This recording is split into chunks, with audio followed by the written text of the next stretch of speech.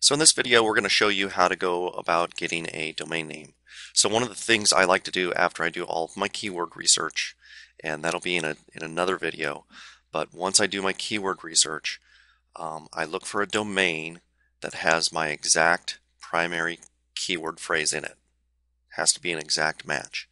Um, that's, that's the ideal solution. Um, if you can't get an exact match, try for something very close. So what I like to use is I like to use this thing called instant domain search. And then I just type in the domain that I want to go for. And you can see here that the .com is taken, and it's taken by me. Um, but .net and .org are available.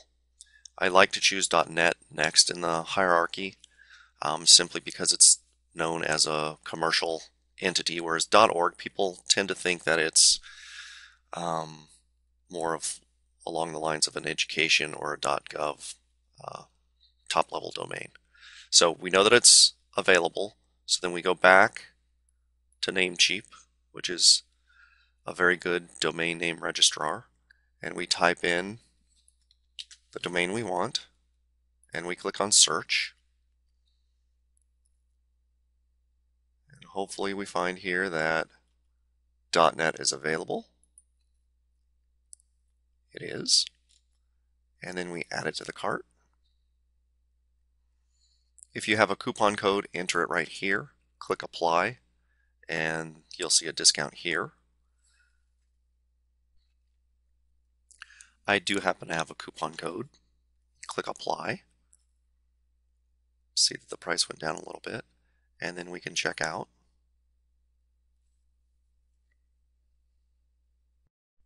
So when you get to this page, you can either create an account if you don't have one, or if you do have an account, you can just type in your username and password here and click login. And then you'll get to this page and click on the next step. And you can change your name servers here. We go over that in a in another video, or you can use their free name servers for right now. I will go ahead and do this and I'm going to pause it for a second while I go retrieve that information. And then you go to save and continue. You can see that you you've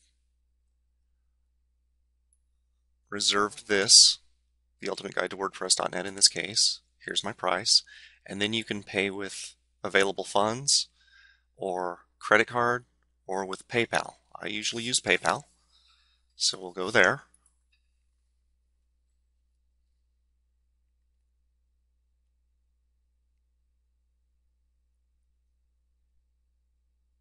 Then you click on Login once you've typed in your email and PayPal password.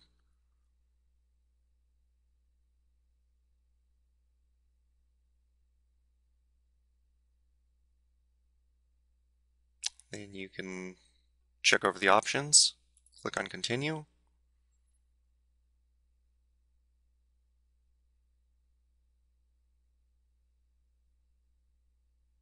And this can take a bit of time. So I'm going to pause it here. And this is what the page looks like when you're done. Once you see this page, you're done and your order is complete. Then what we do is we always want to verify. So let's go here to my account and then manage domains. Scroll all the way to the bottom where, where it should be and you can see that it's right here. Click on that. Let's check our domain name server setup and it's there. We'll show you how to do that in a different video, but it's there. And let's go back to my account and we're done.